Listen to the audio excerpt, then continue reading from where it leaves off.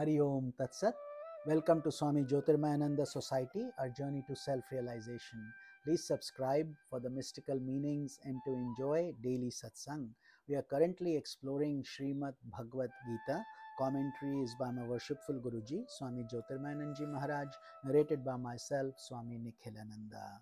So today we will continue from chapter number 14 which is also known as Gunatraya Vibhag Yog, three gunas, three modes of nature and we are starting from shloka number 17. So God continues Satvat Sanjayate Jnanam Rajaso Lobha Aivacha Pramadamohau Tamaso Bhavato Ajnanemev Cha from sattva proceeds knowledge, from rajas, greed, and from tamas, heedlessness, delusion, and ignorance. So, as God has been so mercifully explaining to us that this is how the three gunas operate, and by now I think you may have understood why sattva is promoted so much because uh, it also generates knowledge. This is why we say do jnana yajna like we are doing right now.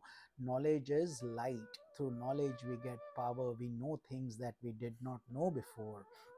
So, if we are in sattva, knowledge is the result, and rajas, worldly activities, increase your greed and uh, worldly desires, and tamas uh, increases your delusion and ignorance.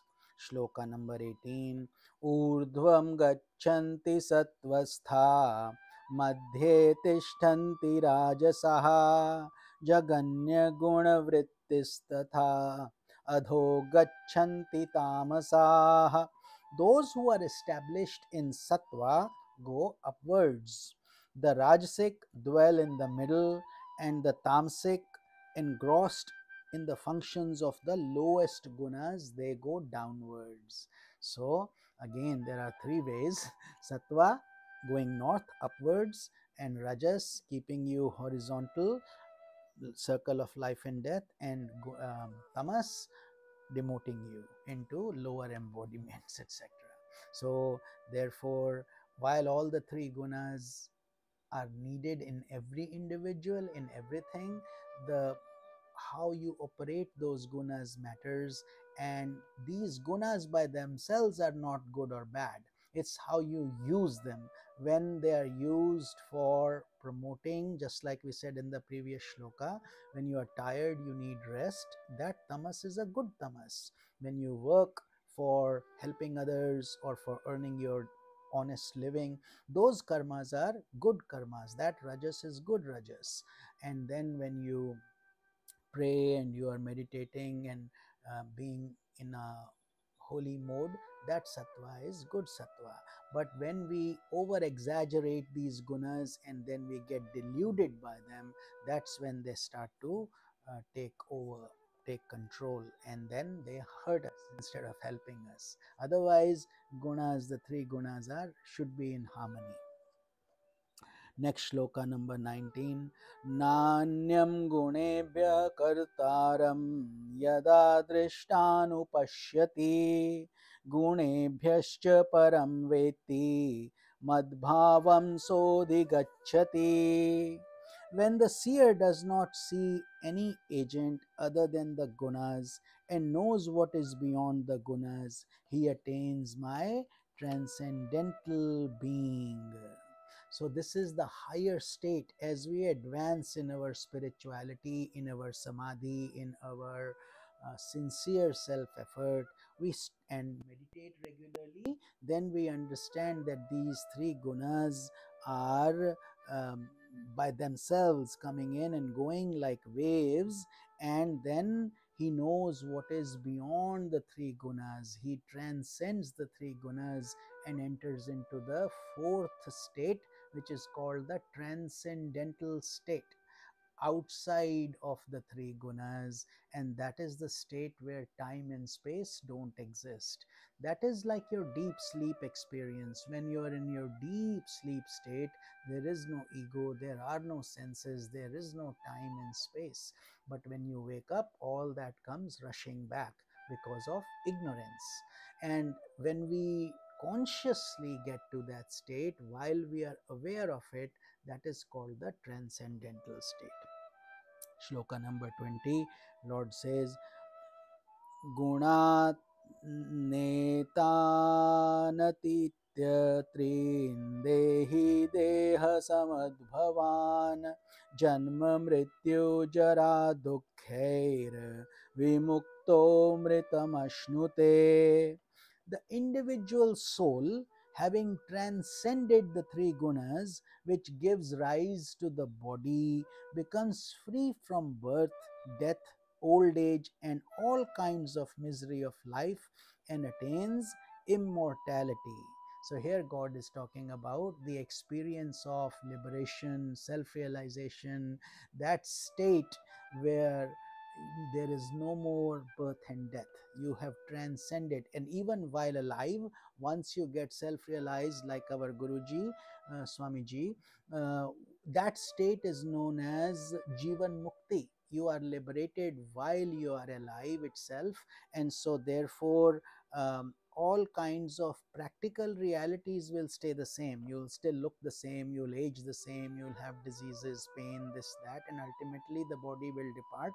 But you have already attained immortality. You have already transcended the three gunas. So this is a subjective experience um, spirituality, liberation, all these things cannot be expressed verbally to others.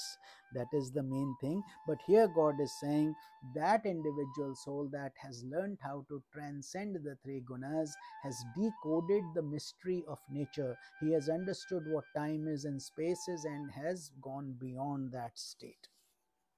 So, beautiful shloka.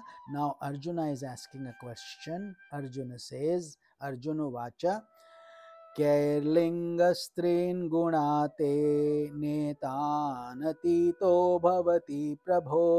किमाचारः कथं चैतां स्त्रीन् गुणानति वर्तते Shri Arjuna asked O Lord what are the characteristics of one who has transcended the three gunas how does he conduct himself how does he rise above the three gunas? If you remember, in chapter number 2, uh, Arjuna had asked the same um, similar question, but not the same question. In that case, he had asked, What does a self realized sage do? How does he sit? How does he walk? How does he talk? So, there God had given him a lot of knowledge. That was early in the stage where Arjuna was all deluded, and God gave him this divine knowledge through as if by giving him CPR. He told him the body is um, mortal, but the consciousness within you is immortal and then he explained all the traits of how um, advanced sages and saints lead their life and how they achieve that state. Here this is this question is more pointed since god is talking about the gunas the modes of nature of sattva rajas and tamas he and uh, god has said somebody who transcends it uh, is not born again he attains immortality. Therefore arjuna is trying to ask how do you get to that state? How does he conduct himself? Who what does that state look like in other words? So next shloka number twenty two Shri भगवान वाच now God is answering प्रकाशम च प्रवृत्तिम मोहमेव च पांडव न द्वेष्टि संप्रवृत्तानि न निवृत्ता कांक्षति Lord Krishna said he O Pandava Arjuna who does not hate when light, activity, and delusion are present, nor does he long for them when they are absent. So, that is that state of the highly developed sage. He does not judge sattva, rajas, or tamas by their nature. He simply looks at them as a witness, just like your own consciousness looks at you like a witness. Next shloka, God continues. उदासीनवदासीनो गुणैर्यो न विचाल्यते गुणा वर्तन्त इत्येव योऽवतिष्ठति नेङ्गते seated like one indifferent he is not disturbed by the gunas. He knows that the gunas alone operate. Gunas modified into body, sense, sense objects as they continue to interact among themselves and thus being established in the self, he is unmoved. So he watches them with great interest and he is aware when his modes are changing when he is in a rajasic mode or a sattvic mode or a tamasic mode but since he is no longer a slave to the gunas. He is their master. He has mastered these gunas. They simply become like his pet servants they these senses these gunas. So they obey that a person who has transcended the gunas and he looks at them um, with love and they obey his command. So this is how he he is indifferent he knows that they are all just like we said you can convert any guna to your benefit gunas are not good or bad they are simply there if you abuse them you deteriorate and if you are helped by them you rise so that is how these sages and saints and people who have transcended these gunas understand them shloka 24 समदुःखसुखः स्वस्थः समलोष्टाश्मकाञ्चनः तुल्यप्रिया प्रियो धीरस्तुल्यनिन्दात्मसंस्तुतिः ever established in the self he is like alike in pleasure and pain he regards a clod of earth a stone and a piece of gold all equal in value he is firm in wisdom and keeps his mind balanced in conditions that are agreeable and disagreeable, treating praise and censure alike. So, very profound shloka. Now, imagine how to reach that state. Here, God is saying He's always within the Atma, He resides in the Self, and therefore it doesn't matter whether a painful situation is developing or a pleasurable outcome is coming. He knows fully well that play, pain and pleasure are like waves in the ocean, they come and go all the time, and therefore he looks at all things with equal value, like looking at a a piece of mud from the earth, a stone, or a piece of gold, all equal in value.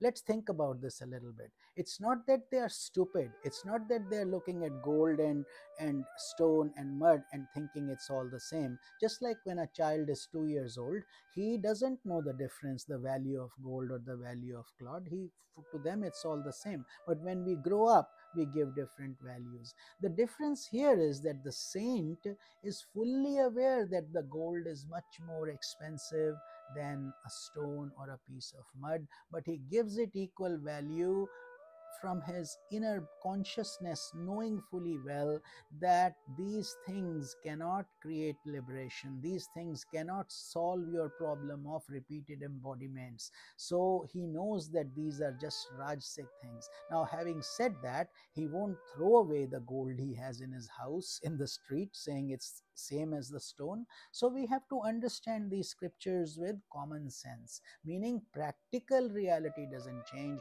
but like most worldly people who salivate, knowing that they can get some gold, and because of that, they may get into greed, lust, passion, worldly activities. The sage simply will not. He will leave all that and walk away because he is not attached to them.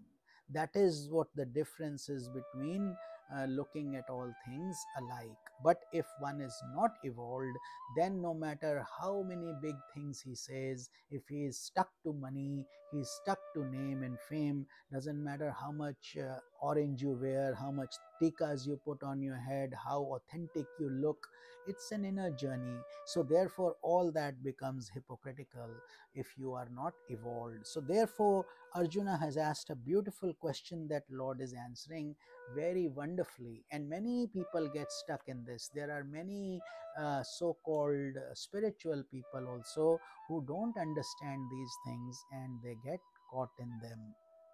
So uh, such a saint such a yogi transcended somebody who has transcended the gunas he is firm in his wisdom. His wisdom is not shaky. Things cannot shake him. Uh, a little bit of gold and money does not buy him and he stays firm and he keeps his mind balanced in conditions that are agreeable and disagreeable. Under all circumstances, they are always the same. They treat praise and censure alike. Think of Socrates, for example.